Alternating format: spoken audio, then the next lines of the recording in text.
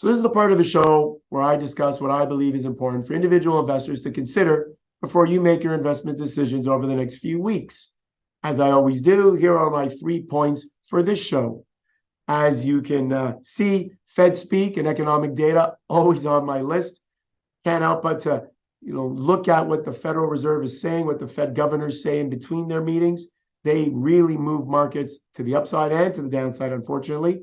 And they base what they say on the economic data, at least so we hope, whether it's jobs numbers or whether it's CPI or, or inflation, whether it's core inflation, when you strip out volatile energy and food prices, whatever they're looking at, it is uh, important for them before they make their uh, interest rate policy decision.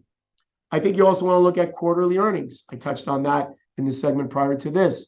We're in the, I guess, kind of maybe halfway through, maybe two thirds of the way through quarterly earnings. We're going to get a lot more quarterly earnings over the next few weeks. What are companies saying? As I mentioned, 80% are beating expectations in the US. We're just starting to get quarterly earnings here in Canada. Rogers, as an example, had fantastic earnings, uh, I believe, about a week or so ago. And lastly, never go wrong taking a profit. What does that mean? Well, I think sometimes taking a profit, taking some money off the table, is a good idea. So we'll touch on that and why you should be considering that before you make your investment decisions. So let's move forward with our first point Fed speak and economic data. As mentioned, the Federal Reserve will make an announcement at 2 p.m. this afternoon, and it is highly likely that they're going to raise a quarter basis point, so another 25 basis points. We have a chart here of the Federal Reserve interest rate hikes, all the nine hikes that we've seen over the past, I guess, year or so. You can probably add another column here pretty soon. That will be the 10th one and it'll be 25 basis points hike. Uh, when you look at, we'll go to the next chart. We've seen this chart before, comparing the core inflation rate uh, in uh, in the United States, the overall inflation rate of about five percent, core inflation 5.6 percent, so a little bit higher, even if you were to strip out the volatile energy and food prices. Interesting enough, when the Fed raises a quarter point, their interest rates are going to be five, five and a quarter. We know overall inflation is now five. So now the bank rate, central bank rate, is now going to be higher than the inflation rate, which to me signals that we could see a pause. Not only could we see a pause, but obviously the banking turmoil in the US is really putting pressure on the Fed. What is the Federal Reserve going to say? How are they going to react? What indications or what hints are they going to give to us? As you know, we parse through everything that uh, every word that the Fed is going to say, he'll have his um, Jerome Powell, the head of Federal Reserve, will have his press conference in and around 2:30 p.m. And um, what are they going to tell us that is different than the last meeting? Keep in mind, we have a jobs number in the U.S. and Canada coming out this Friday. We have uh, inflation data coming out next week, a week today actually. So We'll see what the Fed says. They may say pause. They may raise an inch, uh, 25 basis points and then say or hint that they may pause. I think that's the likelier scenario. So as an investor, I think the two o'clock meeting, the two o'clock announcement, the 2.30 press conference is very important for individual investors to consider before you make your investment decisions. Second point I wanted to discuss, the quarterly earnings.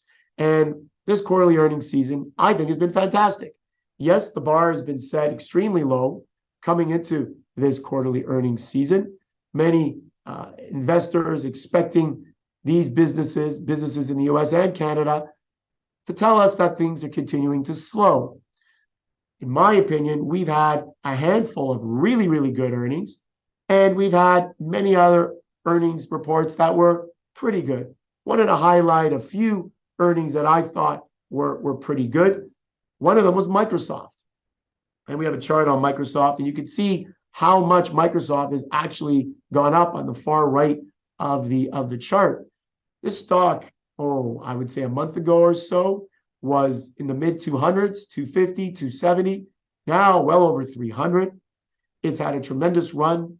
Talks a lot about Microsoft spoke on the call or on their uh, um, press conference or their call with uh, with uh, journalists they said that they're seeing a lot of gains in the artificial intelligence area.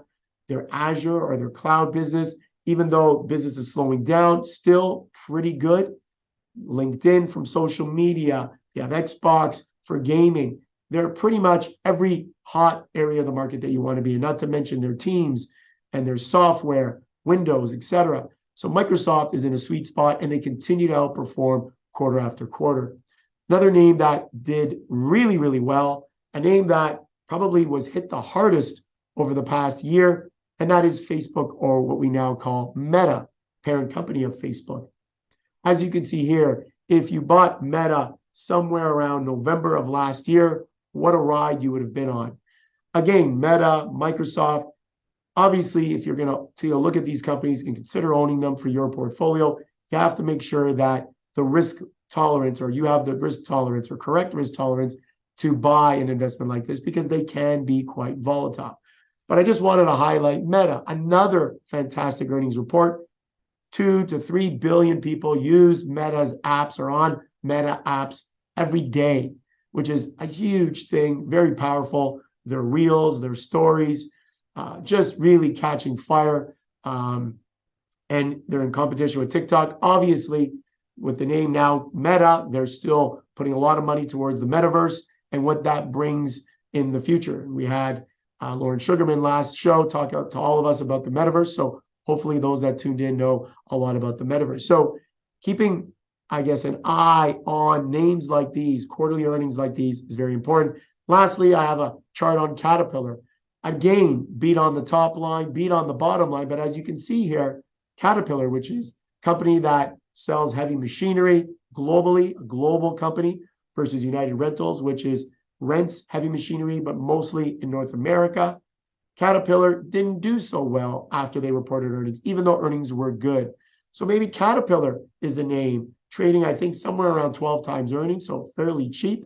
Maybe Caterpillar is a name that individual investors want to take a look at. So keeping an eye on quarterly earnings on this quarterly earnings season is really important before you make your investment decisions.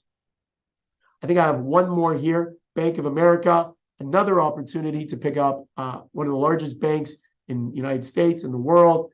Again, good earnings, solid earnings. They actually set aside less money for bad debts than they did the quarter before, even though things continue to slow down. Yet the stock, even though you can see here on the on the far right, kind of blipped up, it has pulled back down below $30 a share again. And may I remind you, this stock used to be almost uh, or in and around a $50 stock once upon a time. So down quite a bit from its previous highs. So let's go to the third point that I wanted to discuss, which is before you make your investment decisions, perhaps you should consider taking some money off the table. You never can go wrong taking profit. And I think when I look at individual investors' portfolios, what I tend to look at is why would I take a profit? Well, I think I would take a profit, either all or sell the whole investment or take partial profit if an investment was starting to get pricey. Or perhaps I was starting to hear some negative sentiment or negative commentary coming from the company, coming from its CEO. Or maybe it's just a matter of taking some profit because there's another opportunity somewhere else and to generate some cash in a portfolio. So there are many reasons why someone could take a profit or take profit off the table. And whether you take the whole, sell the whole investment or partial, I always, if I can, like to trim as a stock moves higher. So I have a couple of stocks here, for example. One is Broadcom, uh, a chip maker in the US. You can see how well this stock has done. I think Broadcom can actually go even higher. But yet I've been trimming it as the stock moves higher. Because if we are wrong and that stock were to pull back, at least we could say we took a lot of profit when things were good. If the stock keeps running higher, well, we just keep trimming more and more profits, taking more profits off the table. So a very good strategy, a strategy that is almost a, a win-win kind of situation. The other chart I have in this spot is again Meta. Meta is another name I started to take some profits on because I believe the stock has run out from 80s, 90 dollars to well over 200. Even though investors or, or analysts think this stock can go over 300 dollars, I continue to trim and take some profit off the table because I think it's prudent. What happens if Meta should stumble? The metaverse should stumble and be delayed. when Meta or Facebook pull back maybe under 200 again. So if I can take some profit at 240, I think that's a very good strategy. So before individual investors make your investment decisions over the next few weeks, if you're sitting on a bunch of winners like a Meta, like a Broadcom, or perhaps some other stock, maybe it's a good idea to start trimming some of those profits, generate some cash, either reallocate that cash somewhere else or let it sit in cash for a little while, making four, four and a half percent until you come up with another investment idea. Because I think when you trim profits, you can never go wrong.